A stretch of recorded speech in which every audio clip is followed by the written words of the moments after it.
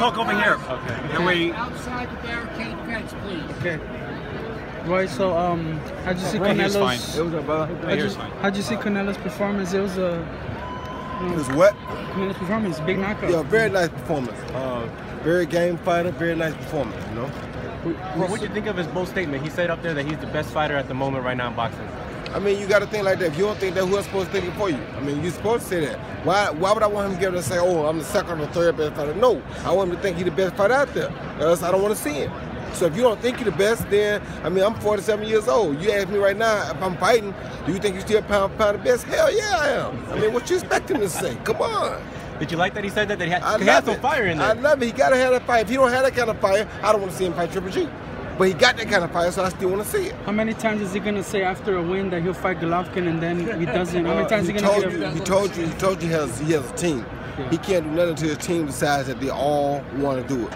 So he's on board for being patient, waiting till what his team says. And if you think about it, man, let, let's just be realistic here. If you look at what Floyd did by milking and waiting and waiting for the Pacquiao fight, it made the biggest fight in the history of boxing.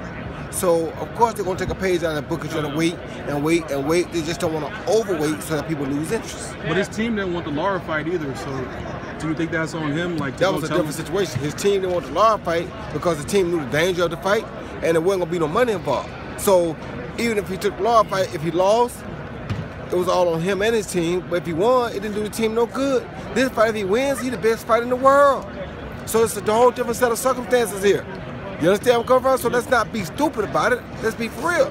Erislandy Lara is a dangerous fight for no reason. Triple G is a dangerous fight with, for big reasons. So, so when he said in there, Roy, he said that he offered Triple G the fight. I don't know about all that now. He said that, but I don't know about all that. Roy, was there anything you saw tonight that changed any opinion you had before Nope. tonight about the fight? Nothing at all. were you surprised how much t- time he spent on the ropes and and, Who, Canelo? and Smith hit him with No, few no, because he gonna have to do that with Triple G too. You're not gonna Triple G gonna pin you against the rope. That's without a question. So you may well get used to it. People always say, you know, don't get your back on the rope. How the hell you gonna stop it? There's another man in there. You can't just run from him.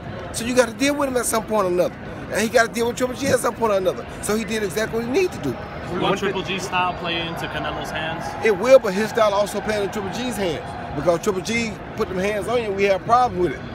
Well, one- Does he need looking to at go to 160 now, Roy? He, he had to strip all the way down to make 154. Is he Well, trying he to better go 160? 150. Yeah, he better go 160. If you're gonna fight Triple G, he may well go to 160. What you, what you gonna keep waiting for? Well, look- looking at the looking at Triple G's fight last week and then looking at Canelo's fight tonight, uh, how do you think that fight will play out now that they both fought?